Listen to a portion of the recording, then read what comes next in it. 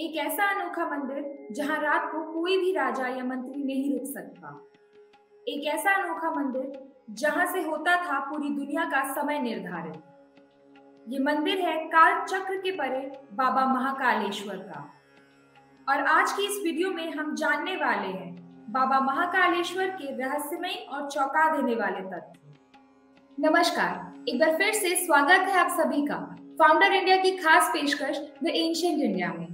मैं हूँ आयुषी और आज की हमारी इस वीडियो में हम बात करने जा रहे हैं। भारत की सबसे प्राचीन नगरियों में से एक उज्जैन में विराजमान महाकालेश्वर के बारे में। महाकालेश्वर मंदिर रहस्यों से भरा हुआ है।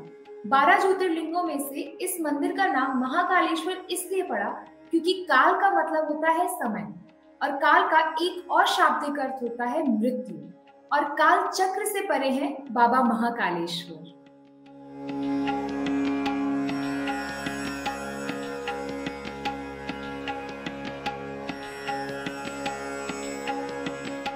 ऐसा कहा जाता है कि एक समय पर इसी जगह से पूरा विश्व का समय मानक तय होता था और मंगल ग्रह का भी जन्म इसी जगह पर हुआ। वैज्ञानिकों ने इस बात की पुष्टि करने के लिए जाँच करी और उनको कुछ चौंका देने वाले सैंपल्स भी मिले। महाकालेश्वर के बारे में एक चौंका देने वाली बात यह है कि रात में महाकालेश्वर के पास कोई भी राजा, मंत्री, मुख्यमंत्री या प्रधानमंत्री नहीं रुक सकते। लोगों का मानना है कि अगर किसी भी राजा या मंत्री ने रात को महाकालेश्वर में रुकने की कोशिश की तो उससे उसकी सत्ता छिन जाती है। क्योंकि उज्जैन के राजा सिर्फ़ एक ही है, और वो है बाबा महाकालेश्वर।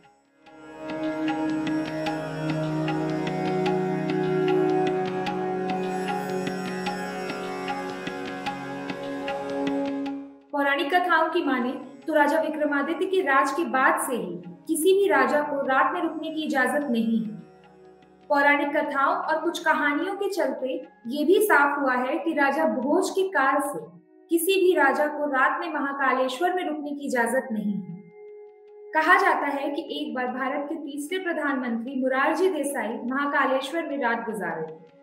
अगले ही दिन उनकी सरकार गिर पड़ी। इसके अलावा कर्नाटक के पूर्व मुख्यमंत्री बी एस येदियुरप्पा ने भी यही किया था और कुछ ही दिनों में उनको अपने पद से इस्तीफा देना पड़ा। कुछ लोगों का मानना है कि ये सिर्फ़ एक संयोग की बात है और कुछ लोगों के हिसाब से ये बाबा महाकालेश्वर की चेतावनी है। महाकालेश्वर में होती है भस्म आरती। कहा जाता है, राजा चंद्रसेन शिव के बहुत बड़े भक्त थे और एक बार राजा रिपु मदन ने उन पर हमला कर दिया। राजा रिपु मदन ने एक दूषण नाम के राक्षस की मदद से लोगों को प्रताड़ित करना शुरू कर दिया। जिसके बाद लोगों ने भगवान शिव से मदद की गुहार लगाई। जिसके बाद भगवान शिव दूषण का काल बन करके आए और उसको उसकी सेना सहित मार दिया। जब लोगों ने भगवान शिव को उज्जैन में ही रह जाने को कहा तो भगवान शिव ने दूषण की राख को अपने शरीर पर मल कर वहीं पर महाकालेश्वर स्वरूप में बस गए। कहा जाता है, उसी के बाद से ही बाबा महाकालेश्वर की आरती, शमशान की ताजी राख से की जाने लगी।